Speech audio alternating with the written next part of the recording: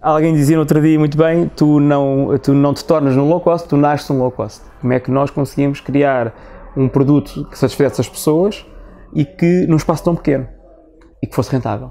E, e o franchising aparece por acaso. Hum. Alguém ligou-nos e perguntou: Eu queria falar com o master. Como é que eu chego até ele?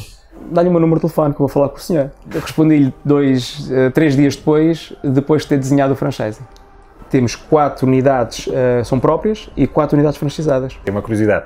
Vocês conseguem ter preços low cost, não é? Uhum. Uh, mas têm equipamento que não é low cost, então como é que vocês são rentáveis? É o que toda a gente anda aqui a especular.